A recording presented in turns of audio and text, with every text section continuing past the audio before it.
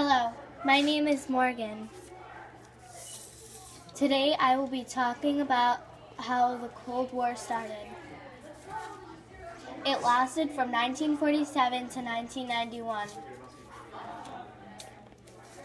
It lasted for 44 years. I have two sides about how the Cold War started. Side 1. It started between two countries, USSR and the US. The country USSR spied on the US because the US was making bombs and missiles. The USSR used planes and submarines to spy on the United States. Before, however, the two countries went to war.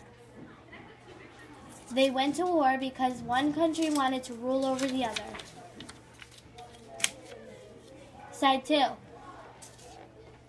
Another reason how the Cold War started is by the Berlin Wall. The Berlin Wall was put up to stop people from running away. Anyone who tried to escape got shot. The wall separated families on top of the Berlin Wall was barbed wire.